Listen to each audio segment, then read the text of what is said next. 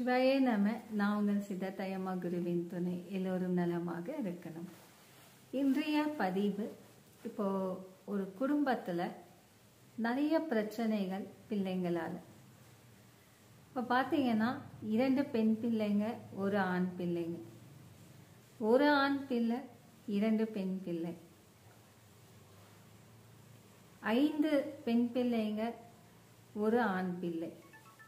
நாலு பெண் பிள்ளைங்க ஒரு ஆண் பிள்ளை. இந்த மாதிரி வீட்டில் வந்து பார்த்தீங்கன்னா பொதுவாக பொதுவாக எல்லா குடும்பத்திலையும் இல்லை. இதை போல குடும்பத்தில் இந்த பிரச்சனை இருந்ததுன்னா கண்டிப்பாக இந்த தொடர்ந்து இந்த பூஜைகள் செஞ்சுட்டு வாங்க. என்ன பிரச்சனை அப்படின்னு பார்த்தீங்கன்னா ஒரு ஆண் பிள்ளை இருக்க வீட்டில் ஏதாவது ஒரு பிரச்சனை வந்துட்டே இருக்கும். ஒன்று அந்த பிள்ளை சரியாக படிக்க மாட்டாங்க.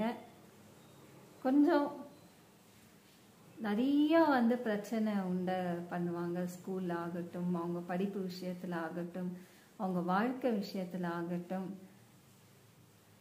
அவங்க அவங்களுக்கு அவங்களாகவே சரி செஞ்சுக்க முடியாத நிலைமைக்கு போயிடுவாங்க சில பேர். இல்லை திருமண வாழ்க்கையில் நிறைய பிரச்சனை வரும். எல்லாம் வந்து ஏற்பாடு செய்வாங்க. கடைசி நேரத்தில் அந்த பிள்ளை வந்து வீட்டை விட்டு போயிடுவாங்க.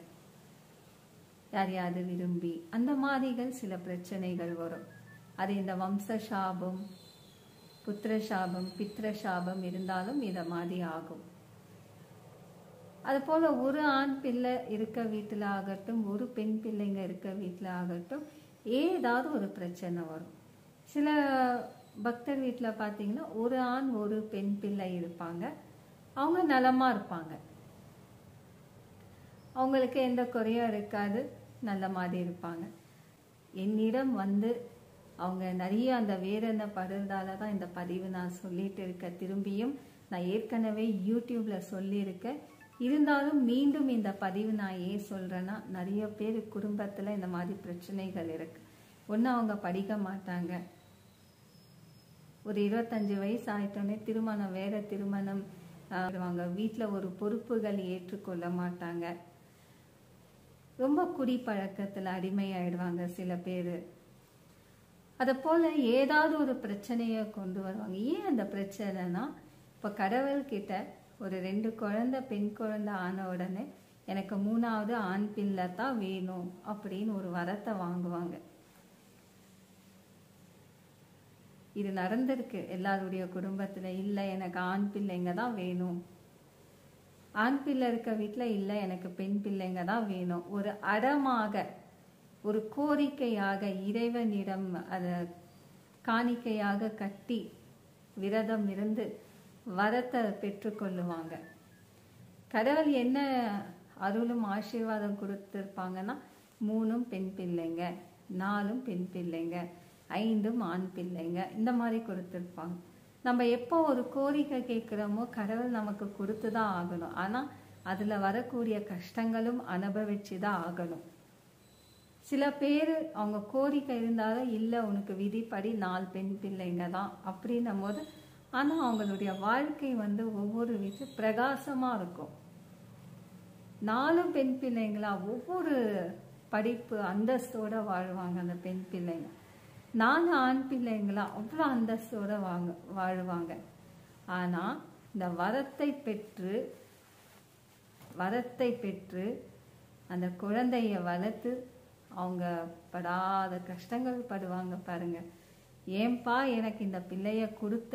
அந்த மாதிரி சில பேர் வந்து மனசு உடஞ்சி போயிடுவாங்க. ஸோ உங்கள் குடும்பத்தில் சிலர் குடும்பத்தில் இந்த மாதிரி கஷ்டங்கள் இருந்தால் அதற்கு என்ன செய்யணும் அப்படின்னா முன்னோர்களை நினைத்து பிரார்த்தனை செய்யணும். கண்டிப்பாக குலதெய்வத்தை நினைத்து பிரார்த்தனை செய்யணும். தினமும் இரண்டு குலதெய்வத்துக்கு ரெண்டு விளக்கு ஏற்றி ஒன்று குடும்பத்துக்காகவும் இன்னொன்று உங்கள் கோரிக்கைக்காகவும் ஏற்றணும் அமாவாசை அன்றைய தினம் முன்னோர்களை நினைத்து காகைக்கு வந்து வாழை இலையில வெள்ளை சாதம் வைத்து கருப்பு எள்ளு தூவி நீங்கள் வாழை இலையில காகைக்கு பிரசாதம் வைக்கணும் அமாவாசைக்கு இந்த தவறாம பூஜை செய்யுங்க. கிருத்திகை சஷ்டிக்கு முருகர் கோவிலில் போயிட்டு ஆறு விளக்கு ஏற்றிட்டு கந்த சஷ்டி கவசம் விடாம படிங்க. கந்த சஷ்டி கவசம் அதே கோவில்லையே உள்ள உட்காந்து படிச்சுட்டு குடும்பத்தை நல்ல மாதிரி என் பிள்ளைங்க நல்லா வாழணும். கல்யாணம் ஆயிட்டு திருமணம் ஆகி அவங்க வெளி வெளிநாட்டில் இருந்தாலும் ஏதாவது ஒரு பிரச்சனையில் இருந்தாலும் அது சரியாயிடும் முருகரிடம் பிரார்த்தனை இருக்கணும். இந்த பிரச்சனையெல்லாம் நீங்களும் என் பிள்ளைங்க எல்லாரும் நலமாக இருக்கணும். என் குடும்பத்தில் ஆகட்டும் எங்கள் வம்சத்தில் ஆகட்டும் யாருக்கும் எந்த தொந்தரவும் வரக்கூடாதுன்னு வேண்டிக்கங்க.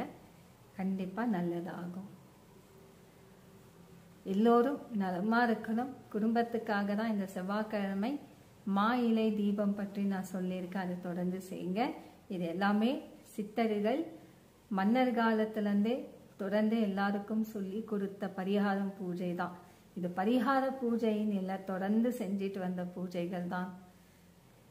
மா இலையில் அவ்வளோ விசேஷம் இருக்கு. அன்றைய தினமே பார்வதி அம்மாவுக்கு ஆறு விளக்கு ஏற்றணும் திருமண வாழ்க்கையில் பிரச்சனை கணவர் மனைவி பிரச்சனை குடும்ப பிரச்சனை செவ்வாய் தோஷம் மாங்கல்ய தோஷம் காலசர்ப்ப தோஷம் இது எல்லாமே சரியாகக்கூடிய பூஜைகள் தான். செவ்வாய்க்கிழமை மா இலை தீப பூஜை. கண்டிப்பாக செய்யுங்க. உங்கள் வாழ்க்கை பிரகாசமாக இருக்கும். ஏதாவது சந்தேகம்னா கமெண்ட்ஸில் அப்டேட் பண்ணுங்கள் சிவாயே நம்ம குருவின் துணை.